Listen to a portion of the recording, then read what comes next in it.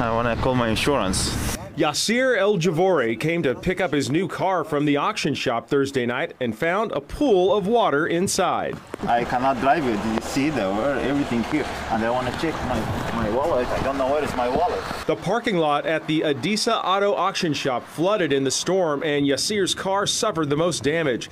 It's this kind of localized flooding that has Sacramento County's Office of Emergency Services concerned. Try not to drive through flooded areas, uh, especially any areas that are barricaded. We want you to turn around, don't drown. The county has been monitoring the rains throughout the day and say it's a good reminder for drivers on what winter weather is supposed to be like. We're not used to this kind of heavy rainfall, and so it's um, getting that behavior um, reintroduced to folks, that safe driving practices, um, making sure we're taking time on the roads.